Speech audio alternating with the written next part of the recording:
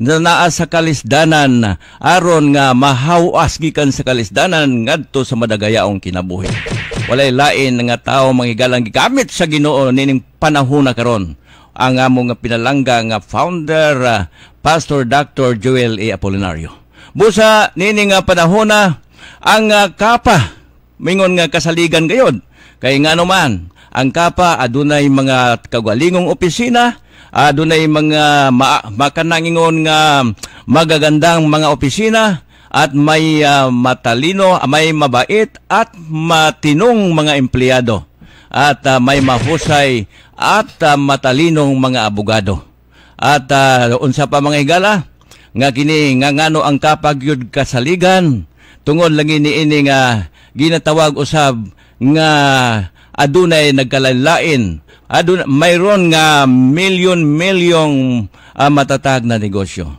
Busa asalat sa tanan nga mga kat, mga kaubanan nato sa kapa ato na yung uh, sa kanunay itisok sa atong talag, tagsa-tagsa kahuna-una o alimpatakan nga kinahanglang yung kita magkahiuosa sa kanunay. O ilabi na nga haduol na gayod ang atong uh, uh, grand reopening. Og daghan nga mga text kung kano sa agyo na mo na among ginaingon din nga hapit na kay ang uh, official declaration ni ana nga adlaw kanang adlaw na gyud sa reopening walay lain kundili ang atong pinalanggang founder and inventor Pastor Dr. Joel Apolinario. Kung aduna magkamoy na dunggan diha sa inyong mga lugar, uh, basta ka lang ang importante lang yun nga atong paaboton. Unsa gingon ni founder? Nga sa diha nga gipangutan na siya sa usa ka media man. Kung ilang porsyento na lang. Ilabang porsyento nga ang kapa mag-abli ingon siya nga 99.9% kapa shall reopen.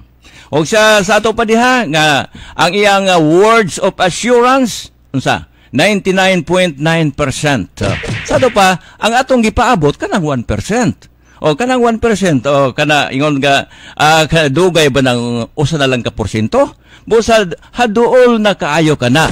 Uh, bosa, di lang kita kana ingo atong pangunahan, basta ang atong importante, magahulat lang yun ta sa insaktong panahon. Kay uh, labing tinuod yun, uh, kinsa manggoy dili naghinam-hinam karong panahon, ah?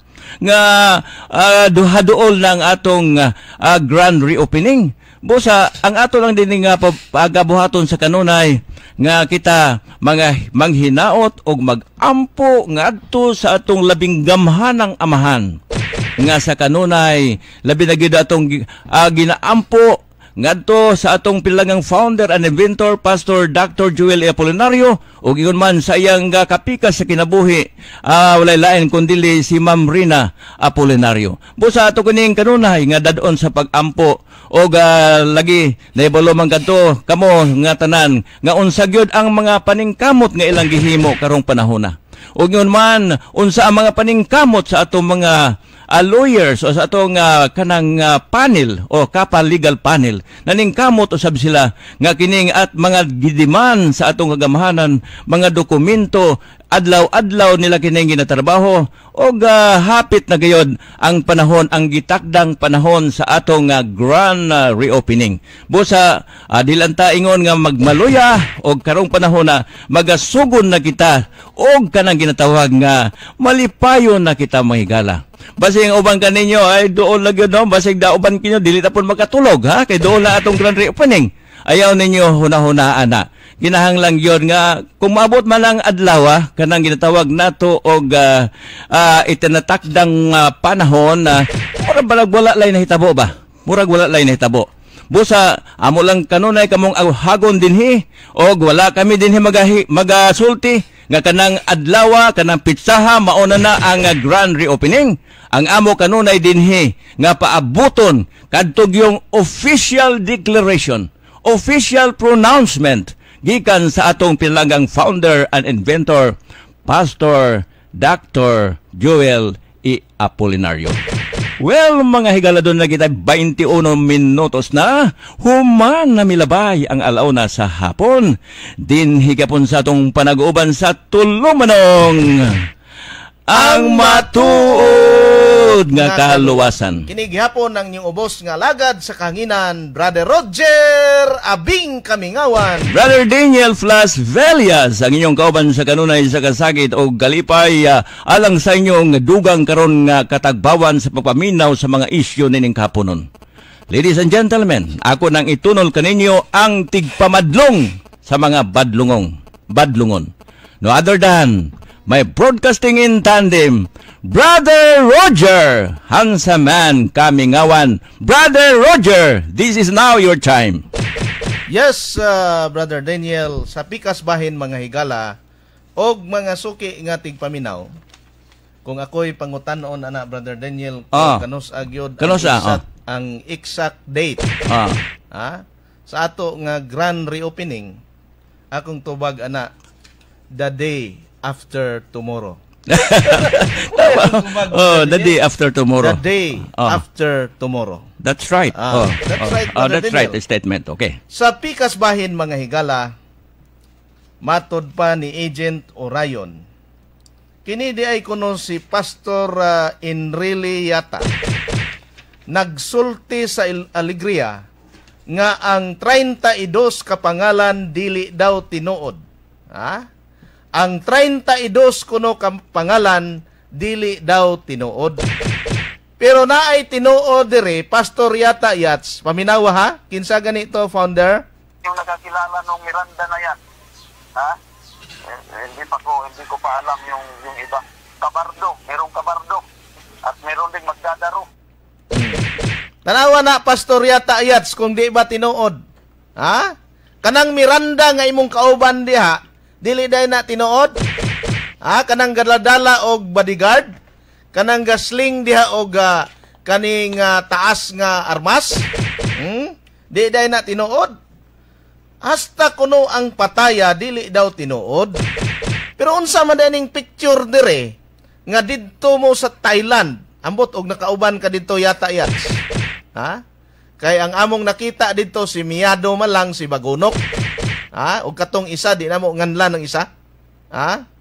So, moingon ka karon nga dili tinuod pagka inutil na lang gini nga klase ni nga pastor pagka pulpul. Ha?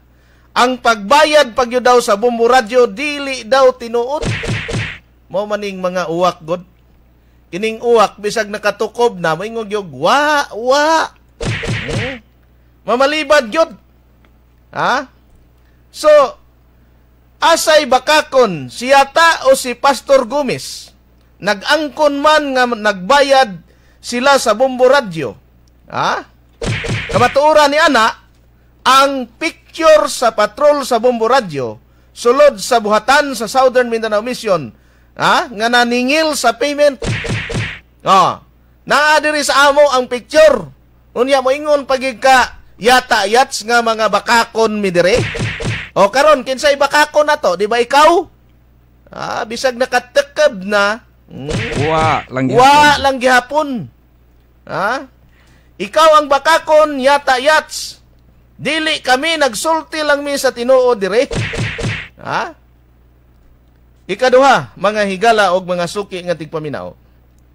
Ingon pa ni Agent Orion, pagkabaga jud di ay og naong ni si LP Miranda.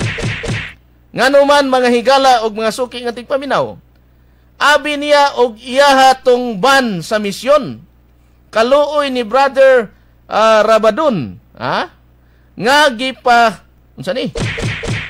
Gipa kanaog ni Miranda kay unsa ni giamutan man sa mga kaigsuonan, mga kaigsuonan kadtong ah, pinaka ah, una nga ban. Ha? So, wa gibuot ni si Miranda, gipakanaog pa niya si brother ah, Rabadon. Ha? Mao ba nang kinaiya sa magbalantay sa karnero? Ah, klaro, nag-ingon si Apostol Juan. Kana nga klase nga magbalantay sa karnero, mao nang magbalantay nga wa mo agi sa porter, o katong portiro sa turil. Kung dili ni katkat sa laing agianan, o mao na siya si Pastor LP Miranda. Ha? Kawa gi buot. Pasti lang gipakanaog pagyud si brother ah, Rabadon sa ban. na dihang muadto sila og imbisi. Diha pag yun sa apupong sa kalsada. Pastilan, kawagi batasan aning LP Miranda.